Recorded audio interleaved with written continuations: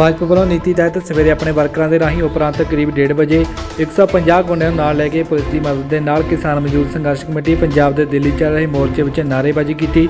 ਤਕਰੀਬਨ 45 ਮਿੰਟ ਬਾਅਦ ਪੁਲਿਸ ਦਾ ਟੈਂਟ ਪਾੜਿਆ, ਮੋਰਚੇ ਵਿੱਚ ਰੱਖੀਆਂ ਵਾਸ਼ਿੰਗ ਮਸ਼ੀਨਾਂ ਤੋੜ ਦਿੱਤੀਆਂ। ਲੰਗਰ ਦਾ ਟੈਂਟ ਤੋੜਿਆ, ਬੀਬੀਆਂ ਦਾ ਟੈਂਟ ਤੋੜਿਆ, ਤਕਰੀਬਨ 15 ਤੋਂ 20 ਮਿੰਟ ਪੱਥਰਬਾਜ਼ੀ ਕੀਤੀ ਅਤੇ ਪੁਲਿਸ ਸਾਰੇ ਘਟਨਾਕ੍ਰਮ ਵਿੱਚ ਮੂਕ ਦਰਸ਼ਕ ਬਣੀ ਰਹੀ। ਪੁਲਿਸ ਨੇ ਹੰਝੂ ਗੈਸ ਦੀ ਵਰਤੋਂ ਜ਼ਿਆਦਾਤਰ ਗੋਲੇ ਦਾਗੇ ਅਤੇ ਮੋਰਚੇ ਵਿੱਚ ਕਿਸਾਨਾਂ ਉੱਪਰ ਦੱਗ ਕੇ ਪੈਟਰੋਲ ਬੰਬਾਂ ਦੀ ਵਰਤੋਂ ਵੀ ਕੀਤੀ ਗਈ, ਜੋ ਕਿ ਪੁਲਿਸ ਕੋਲ ਨਹੀਂ ਹੁੰਦੇ, ਜਿਸ ਦਾ ਮਨੋਰਥ ਟੈਂਟਾਂ ਨੂੰ ਅੱਗ ਲਗਾਉਣਾ ਸੀ।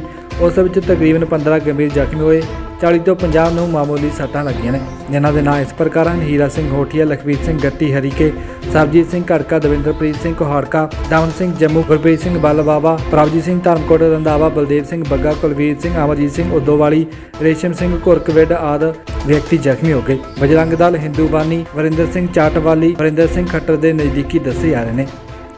ਬਿਊਰੋ ਰਿਪੋਰਟ, ਆਵਾਜ਼ੀ ਕਮ ਟੀਵੀ।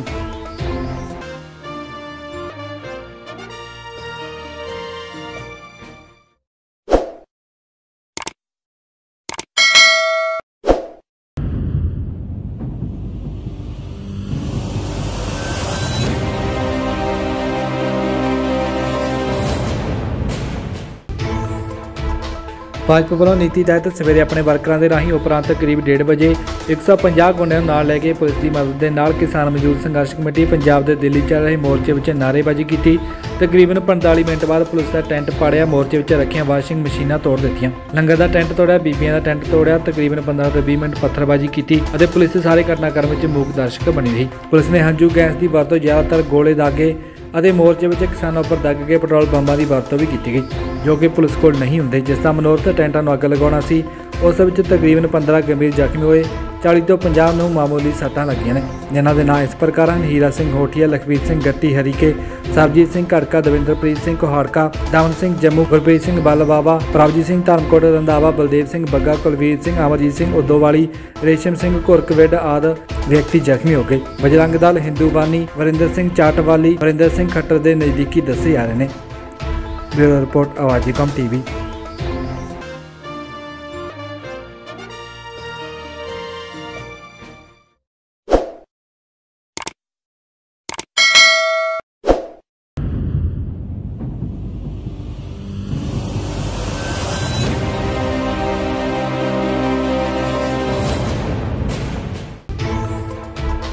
ਭਾਜਪਾ ਵੱਲੋਂ ਨੀਤੀ ਤਹਿਤ ਸਵੇਰੇ ਆਪਣੇ ਵਰਕਰਾਂ ਦੇ ਰਾਹੀਂ ਉਪਰੰਤ ਕਰੀਬ 1:30 ਵਜੇ 150 ਗੁੰਡਿਆਂ ਨੂੰ ਨਾਲ ਲੈ ਕੇ ਪੁਲਿਸ ਦੀ ਮਦਦ ਦੇ ਨਾਲ ਕਿਸਾਨ ਮਜ਼ਦੂਰ ਸੰਘਰਸ਼ ਕਮੇਟੀ ਪੰਜਾਬ ਦੇ ਦਿੱਲੀ ਚੱਲ ਰਹੇ ਮੋਰਚੇ ਵਿੱਚ ਨਾਅਰੇਬਾਜ਼ੀ ਕੀਤੀ।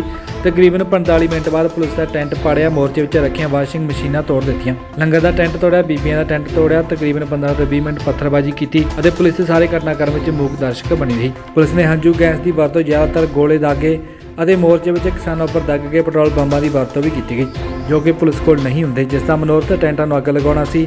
ਉਸ ਵਿੱਚ ਤਕਰੀਬਨ 15 ਗੰਭੀਰ ਜ਼ਖਮੀ ਹੋਏ 40 ਤੋਂ 50 ਨੂੰ ਮਾਮੂਲੀ ਸੱਟਾਂ ਲੱਗੀਆਂ ਨੇ। ਜਿਨ੍ਹਾਂ ਦੇ ਨਾਂ ਇਸ ਪ੍ਰਕਾਰ ਹਨ ਹੀਰਾ ਸਿੰਘ ਹੋਠੀਆ ਲਖਵੀਰ ਸਿੰਘ ਗੱਟੀ, ਹਰੀਕੇ, ਸਰਬਜੀਤ ਸਿੰਘ ਘੜਕਾ, ਦਵਿੰਦਰਪ੍ਰੀਤ ਸਿੰਘ ਕੋਹਾੜਕਾ, ਦਮਨ ਸਿੰਘ ਜੰਮੂ, ਗੁਰਪ੍ਰੀਤ ਸਿੰਘ ਬਾਲਬਾਵਾ ਪ੍ਰਭਜੀਤ ਸਿੰਘ ਧਰਮਕੋਟ ਰੰਦਾਵਾ ਬਲਦੇਵ ਸਿੰਘ ਬੱਗਾ, ਕੁਲਵੀਰ ਸਿੰਘ, ਅਮਰਜੀਤ ਸਿੰਘ ਉਦੋਵਾਲੀ, ਰੇਸ਼ਮ ਸਿੰਘ ਘੁਰਕਵਿੱਡ ਆਦ ਵਿਅਕਤੀ ਜ਼ਖਮੀ ਹੋ ਗਏ। ਬਜਰੰਗ ਦਲ ਹਿੰਦੂਬਾਨੀ ਵਰਿੰਦਰ ਸਿੰਘ ਚਾਟਵਾਲੀ, ਵਰਿੰਦਰ ਸਿੰਘ ਖੱਟਰ ਦੇ ਨਜ਼ਦੀਕੀ ਦੱਸੇ ਜਾ ਰਹੇ ਨੇ। ਬਿਊਰੋ ਰਿਪੋਰਟ, ਆਵਾਜ਼ੀ ਕਮ ਟੀਵੀ।